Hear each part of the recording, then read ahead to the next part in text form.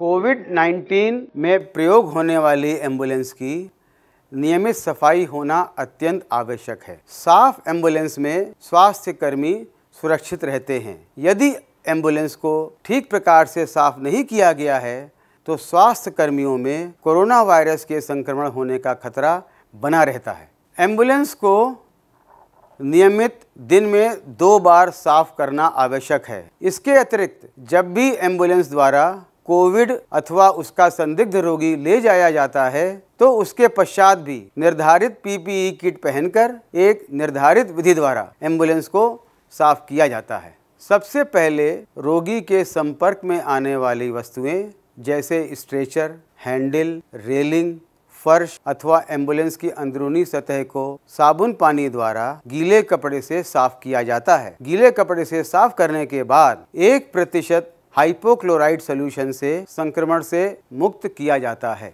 यह जान लेना आवश्यक है कि सतहों से हाइपोक्लोराइड घोल का संपर्क लगभग 30 मिनट तक होना चाहिए। इसके लिए हाइपोक्लोराइड का घोल लगाकर उसको हवा द्वारा ही सूखने देना चाहिए। उसको किसी सूखे कपड़े से नहीं पोछना चाहिए। जिस कपड़े से हाइपोक्लोराइड घोल द्वारा एंबुलेंस को साफ़ किया गया है उसको दोबारा हाइपोक्लोराइड के घोल में नहीं डालना चाहिए। उसको विधि पूर्वक निस्तारित करके दूसरी बार पोछने के लिए दूसरा कपड़ा प्रयोग में लाना चाहिए। एंबुलेंस साफ़ करने के लिए हमेशा ऊपर से नीचे और अंदर से बाहर आते हुए साफ़ करना चाहिए। हाइपोक्लोराइड घोल से एंबुलेंस की सतहों को साफ़ करते समय कपड़े को एक ही दिशा में घुमाना चाहिए। जैसे ऊपर से नीचे अथवा बाएँ से दाएँ।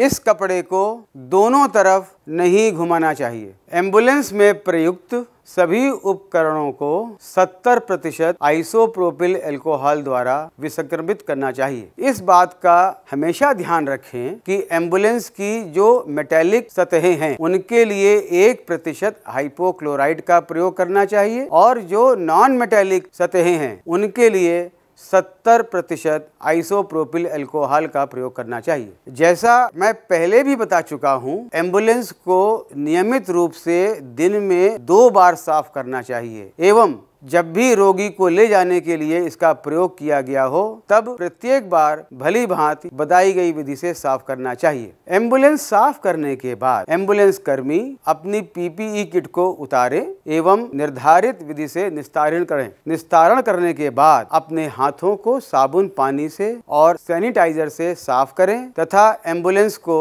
दूसरे रोगी को स्थानांतरण करने के लिए तैयार रखें।